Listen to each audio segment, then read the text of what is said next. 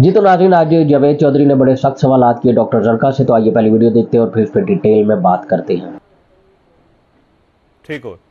और तो वो टॉप से हुई होगी ज़ाहिर है किसी ने चलते चलते तो आपको ऑफ़र नहीं कर दी होगी।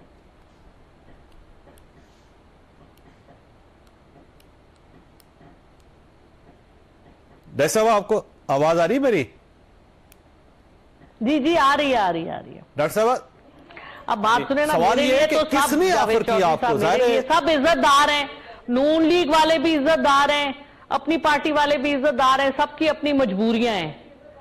तो मुझे तो ये लगता है कि ये सारी गेम जो है ये ये है कि ये चंद सेनेटर और चंद एमएनए की सीटें इनसे लो ताकि ये नून लीग को दी जाए ताकि अगली दफ़ा अमेंडमेंट आए तो हमें किसी को पकड़ना ना पड़े उसके बगैर ही काम हो जाए। इनसे इस्तीफा दिलाओ इन पे इतना गंद डालो कि ये चल खड़े होने के काबिल ना हो।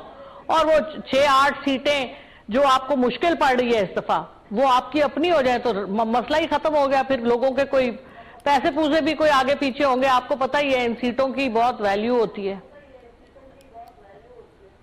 मतलब अच्छा, वैसे आपको पैसे ऑफ़र हुए थे मुझे लग ये रहा है।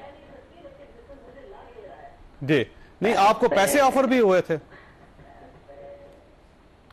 मतलब मुझे ऑफ़र हुआ था कि हम आपका टिकट दे देते हैं, आप जो वहाँ बैठी हुई हैं तो हम वापसी का आपका टिकट ले देते हैं। मैंने कहा, जी, मेहरबानी, मैं अपने पैसों से, मेरे क्लिनिक बंद हुए वॉट एवर तो एज सच पैसों की मुझे कोई ऐसी ऑफ़र मतलब हुई भी, लेकिन ज़ाहिर है, जब मैंने लेनी नहीं है कोई ऑफ़र तो कोई ऑफ़र करता रहे, मुझे उससे क्या फ़र्क पड़ता है? ठीक हो अच्छा ये फरमाइएगा, अब आप सेनेट का रुकन रहना चाहती हैं या मुस्ताफी होना चाहती हैं? मैंने क्या गुनाह किया है जी? मेरी मेरी चार्जशीट तो बताएँ कि मैंने गलती क्या की है? मैंने पार्टी से गद्दारी की है? मैंने कोई पार्टी से गद्दारी नहीं की। मैंने कोई वोट नहीं दिया। मैंने कोई डील नहीं ली। मैंने एक रुपया किसी से नहीं लिया।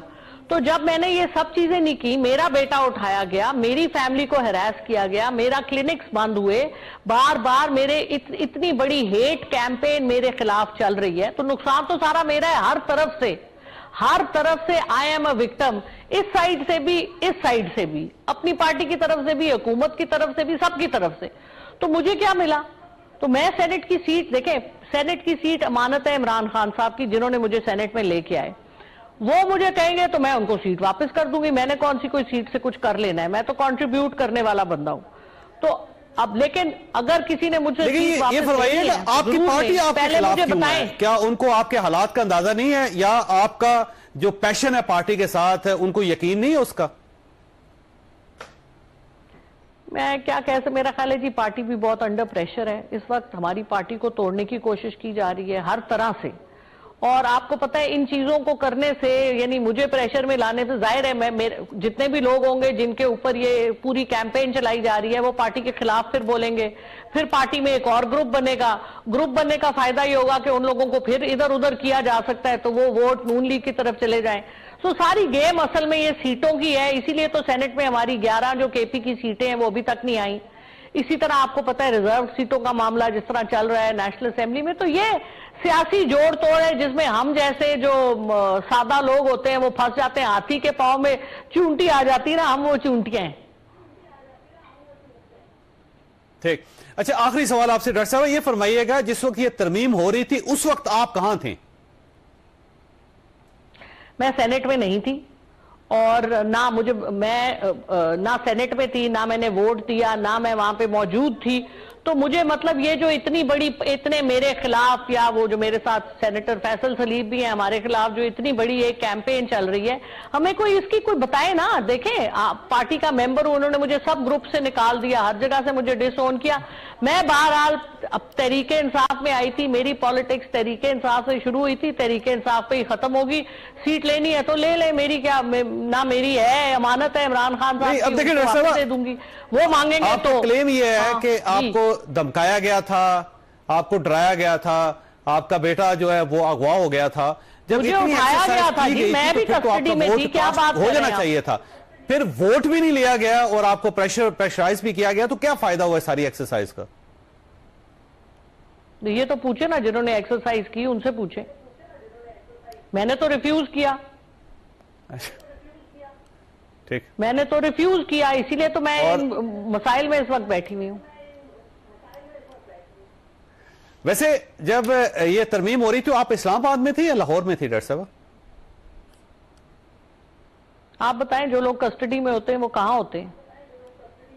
आप वैसे मुझे दोबारा तो नहीं उठवाना चाह रहे मैं ज़ाहिर आपसे पूछना चाहता हूँ कोई मेरा भरम भी रख ले। मुझे देखे बात सुने मैं एक देखें जी जब आप किसी की तहवील में होते हैं तो उनका जिधर दिल चाहे आपको ले जाए। हम कौन होते हैं कुछ कहने वाले? मेरा बेटा यरगमाल था जिसकी बेसिस तो आप भी कस्टडी में लिया गया। तो फिर आप जानते हाँ। तो आप हुकूमत से पूछे ना नून लीग से ये क्या किया इन्होंने? ठीक। और आप तहवील में थी इसके बावजूद कि आपने वोट देने से इंकार कर दिया था।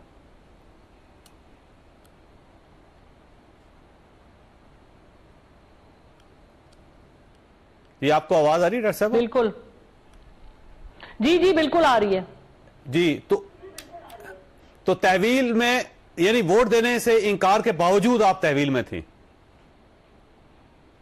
ज़ाहिर है मेरा बेटा उन्होंने पकड़ा हुआ था तो वो मुझे क्यों छोड़ते थे? अभी तो वो मेरे साथ जो और कुछ हो रहा था वो बतेरा कुछ हो रहा था। कभी कोई चीज़ खुलती थी कोई बंद होती थी बेटे को मेरे पहले बेहतर जगह पे लाया गया फिर दोबारा बुरी जगह तो ये अब लंबी कहानी है मैं अब आपको क्या बताऊँ?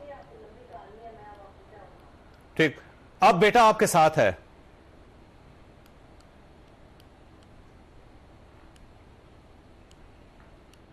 वो कह रहा है कि अब अगली दफ़ा क्या होगा सब आपका बहुत बहुत शुक्रिया तो दोस्तों जैसा कि आप लोग जानते हैं कि ये जो डॉक्टर जरका हैं इन्होंने एक तरह से इमरान खान की पीठ पे जो है वो छुरा घोंपा है। उसकी वजह ये है कि इन्होंने ये यूएसए में थी और वहाँ से ये यहाँ पे आई और इन्होंने ये ड्रामा करवाया कि जी मेरे बेटे को अगवा कर लिया गया है। और उसके बाद जी मैं मजबूर हूँ फिर ये असम्बली में आके बैठ गई। असल में इनको बैकअप पे रखा गया था। अब हुआ क्या? कि उन्होंने इनको बैकअप पे रखा, तकरीबन सौ करोड़ रुपए की ऑफ़र की और उसके बाद इनको एक रुपया भी नहीं मिला मेरे हिसाब से। इनको एक रुपया भी नहीं मिला और इनको ऐसे ही छोड़ दिया गया। क्योंकि इनसे वोट तो लिया नहीं था, बस इनको स्टैंड बाई पर रखा गया था। शायद थोड़े बहुत पैसे दिए गए हों। अब ये, जिसको कहते हैं ना कि धोबी का कुत्ता ना घर का ना घाट का, ये वही हो गया कि अब ना ये नून लीग में कोई जा सकती है, ना कुछ और कर सकती है। अब ये मतलब वैसी तरीके इंसाफ से भी फारिग हो गई। अच्छी भली मतलब वहाँ पे थी तो इन्होंने सिर्फ़ पैसे की लालच में इतना बड़ा काम किया। सिर्फ़ इन्होंने नहीं, और बहुत से तरीके इंसाफ के लोगों ने किया। लेकिन ये अच्छा हो गया कि तरीके इंसाफ में से जितना गन था, वो निकल गया। तो भी अगर आपको वीडियो पसंद आई तो लाइक शेयर सब्सक्राइब अपनी राय का कमेंट बॉक्स में ज़रूर कीजिएगा। मिलते हैं नेक्स्ट वीडियो में, तब तक